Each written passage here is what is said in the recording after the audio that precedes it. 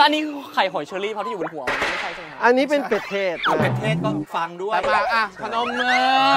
ตั้ง